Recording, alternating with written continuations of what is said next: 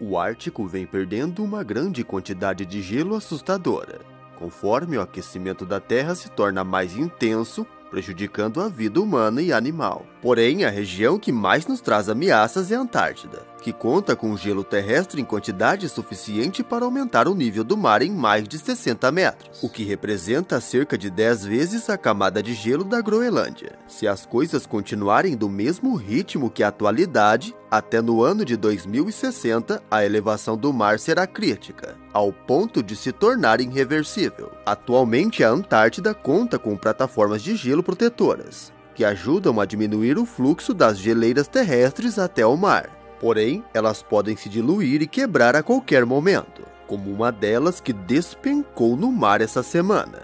Porém, ela não é apenas uma simples placa de gelo, sendo incrivelmente imensa, e agora está à deriva ao mar. Mas qual o tamanho dessa geleira? E quão prejudicial ela pode ser? Eu sou o Thiago Mussato e no vídeo de hoje você irá conhecer a camada Conger, que despencou no mar. Se gostar do vídeo, já deixe seu like, se não for inscrito, já aperta aqui embaixo o botão inscrever-se, para não perder os nossos vídeos. Frequentemente, placas e blocos de gelo se desprendem na Antártida, e isso vem aumentando cada vez mais. As geleiras são de suma importância para a manutenção de vida na Terra, visto que elas concentram quase 70% da água doce. Sem elas, a vida aqui na Terra entraria em extinção. O aumento da temperatura terrestre foi o responsável pelo derretimento das geleiras ao longo da história. Atualmente, a rapidez das mudanças climáticas poderia extingui-las em um tempo recorde. Sem as geleiras, a vida aqui na Terra não existiria e o planeta se tornaria inabitável. O gelo da Antártida está derretendo seis vezes mais rápido do que 40 anos, o que faz com que camadas de gelo se desprendem frequentemente. Uma dessas camadas é a famosa e conhecida camada Conger.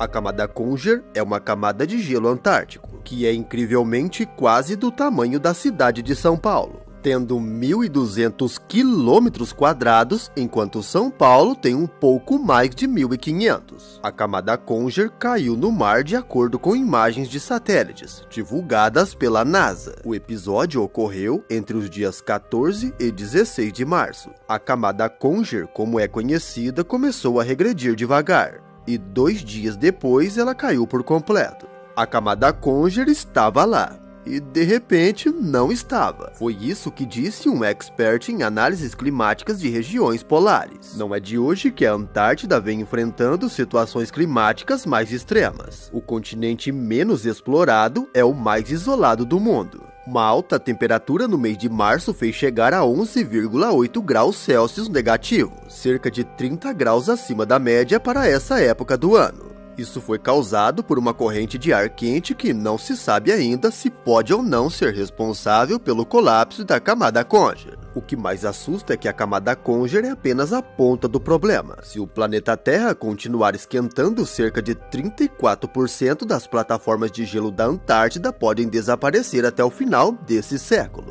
O derretimento descontrolado das camadas de gelo da Antártida vem acontecendo desde o início dos anos 2000. Com isso, atualmente nosso planeta conta com apenas duas camadas de gelo a da Antártida e a Groenlândia. Em 2002, por exemplo, uma ruptura causou o desaparecimento da plataforma Larsen B, na Antártida, e despejou cerca de 3.250 km de gelo no oceano.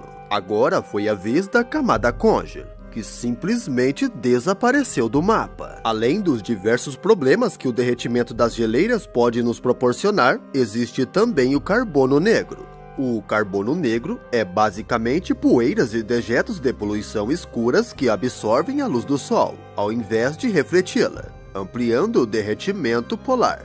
Contudo, a situação vai piorar ano após ano, até chegar a um ponto em que as geleiras irão desaparecer por completo. Com mais de 20 bilhões de metros cúbicos de gelo na Terra, A verdade é que ninguém sabe ao certo quanto tempo levaria para toda essa camada derreter. Quando isso acontecer, a temperatura média passaria a 26 graus ao invés dos atuais 14 graus. Imensas regiões se tornariam inabitáveis para os seres humanos e haveria ampliações das áreas desérticas, o que mudaria totalmente o nosso planeta. A força da natureza sempre foi e sempre será a mais devastadora de todas, e na maioria das vezes nos pega de surpresa, como a camada Conger, que estava lá e de repente não estava mais. Um bloco de mais de 1.200 quilômetros simplesmente se desprendeu e agora está derretendo no mar. Isso é simplesmente assustador e nos mostra a força da natureza. Se você quer saber mais sobre as geleiras da Antártida, eu deixei um vídeo no final desse vídeo.